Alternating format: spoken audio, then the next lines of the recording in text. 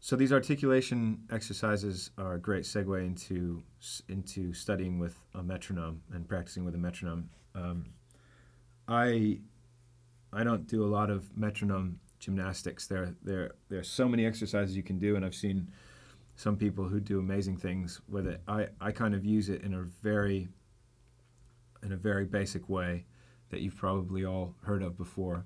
Um, but I tend to kind of take one song and start at a slow metronome speed and then work up in three, kind of slow, medium, and fast.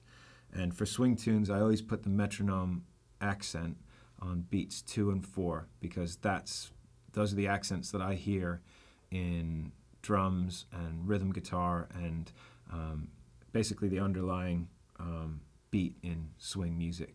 So we're going to set the metronome to 90 and I'm going to play that Sheik of Araby again. So that sounds like one, two, one, two. But remember, you're putting that on beats two and four. So it's one, one, two, three, four, one, two, three, four, one, two, three, four, one, two, three, four, one. And your objective here is to make the metronome swing. So I'm just going to play my articulation. And I'm just going to actually think, I'm just going to scat my rhythms over the top of this swinging metronome. Da da ga da ga da ga da ga da da da da da do do do do do do do do do ga do bo do be do be dee bo do do dee dee dee da ba do dee do do bo do dee dee dum da da da be do dee ba do dee do do dee be be be bo do dee do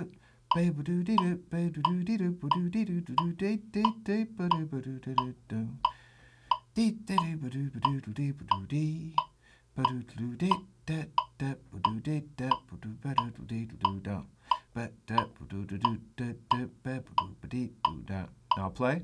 Uh, uh, uh.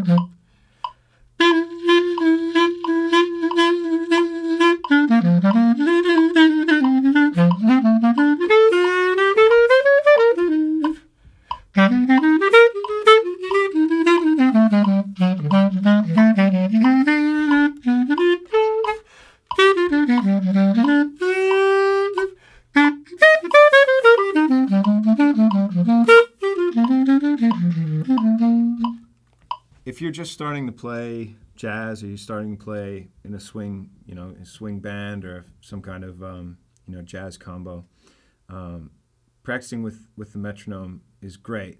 But when the metronome goes away, you have to be your own metronome. And that needs to be practiced as well.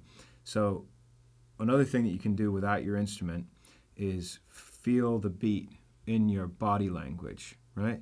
And I think I said before that tapping your foot is a bad habit. And the reason that tapping your foot is a bad habit is that it's very far away from your brain.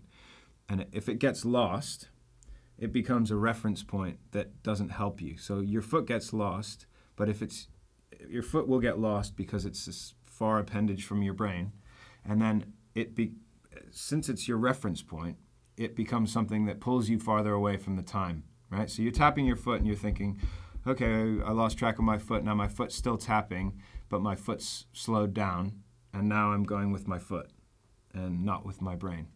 So instead, you want to kind of embrace a, a, kind of a micro movement of your, your muscles that keep you in time, right?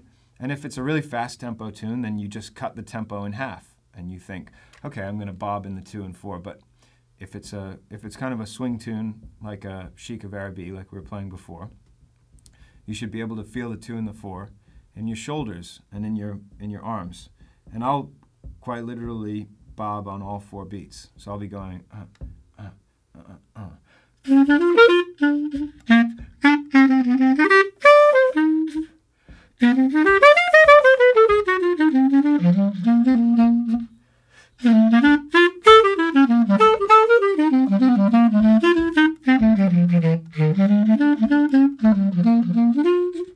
It's important that you keep moving as you, you think of your the analogy that you are the metronome, right? The metronome doesn't stop when you stop playing. The metronome keeps going all the way through. And you need to be that metronome because you need to have consistency and be constant even when you're having a break in your phrase. So even when I stop playing, I'm still here.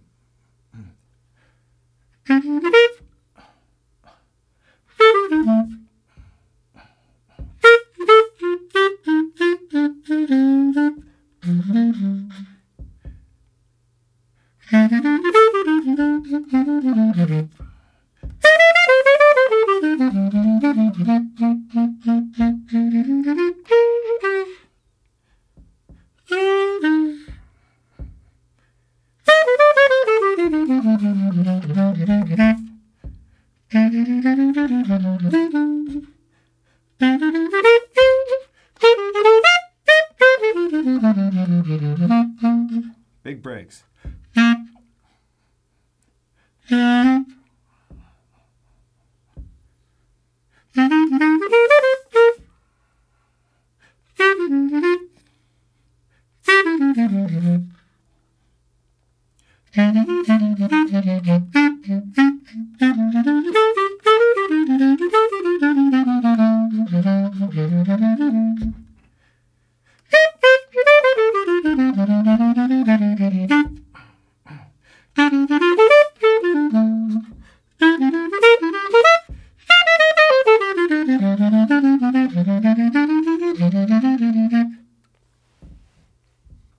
say about the metronome that you picking a, a slow, medium, and fast tempo is a really good way to practice songs like um, I Can't Give You Anything But Love or um, All of Me because people call them at such different tempos.